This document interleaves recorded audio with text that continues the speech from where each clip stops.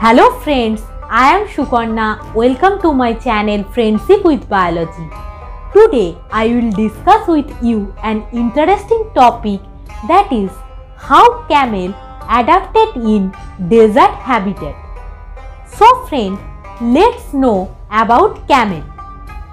Camel is a mammal. Camel is herbivores. That means it eats plants and vegetation. Camel height is up to 7 feet at its hump. Camel weight is up to 16,000 pounds.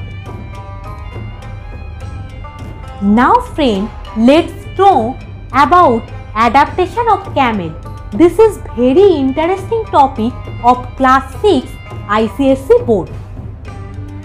Camel have large and thick sole with padded feet that help them to walk on hot sand.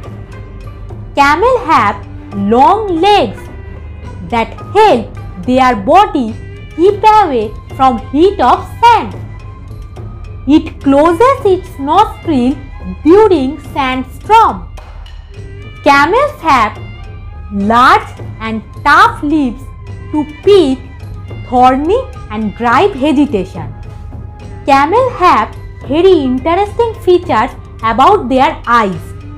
Its eyes have three eyelids and two rows of eyelashes that protect their eyes from dust and sand.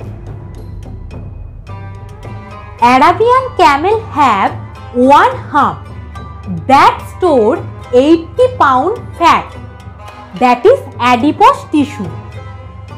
This fat divides into water and energy when camels have no food. This hump gives camel ability to walk 100 desert mile without food and water. Camel excrete less urine and dry dung that help them to conserve water in their body. Camel can survive without water for days, but when water is available, it consumes large amount of water about 40 to 50 liters. Camel is known as sheep of desert. So friend, there is a question.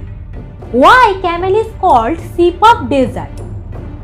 Camel is called sheep of desert because camel carry large load on its back from one side of desert to another side. Arabian camel carry 200 kg weights on its back from one side of desert to the another side of desert. So friend, in this video, I discussed about adaptation of camel in desert habitat. Please watch my video, like this video, share it with your friends and subscribe my channel. Thank you.